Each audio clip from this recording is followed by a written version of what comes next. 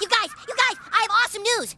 You have AIDS? No. This Saturday for my birthday, my mom says she's taking me to Casa Bonita in Denver, and I get to invite three friends. Wow, Casa Bonita? Woo hoo! What's Casa Bonita? Dude, haven't you ever been there? It's a